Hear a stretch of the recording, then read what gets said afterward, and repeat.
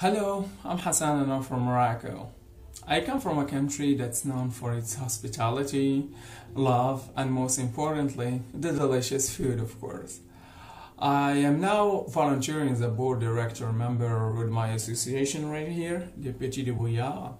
I've been volunteering with them for the past three years and I've learned so much and I would love to share what I know with others. So, yes, before I was volunteering as a scientific animator, we basically try to simplify science for young people and public in general to understand it better.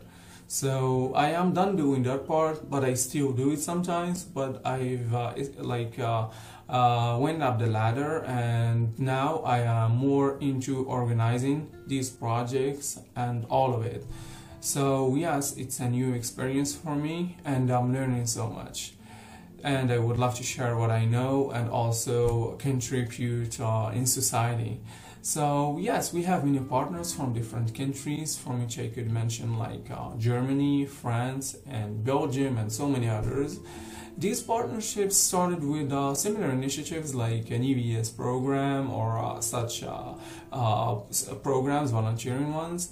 And yeah, over time they became strong ones and we're proud of that. Our partners are very happy and thrilled with our work.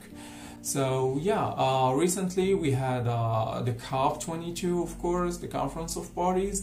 We were the organizing committee of the COY 12, which is the Conference of Youth, just that comes right before the COP. And uh, yeah, we had many partners like Rasselband from Germany and also OFAJ, that's known for like um, DFJW in German and yeah that was a, a, very enriching experience for me personally because I was representing the Moroccan uh, delegation here in Morocco in partnership with uh, and OFAJ so yeah that was an enriching experience as for uh, my volunteering program that I want to do now, which is the EVS, I want to learn more about different countries, uh, different cultures, which is why I'm doing this EVS in uh, general, and also to um, uh, gain new experiences, to learn new things, of course, and also to share what I know.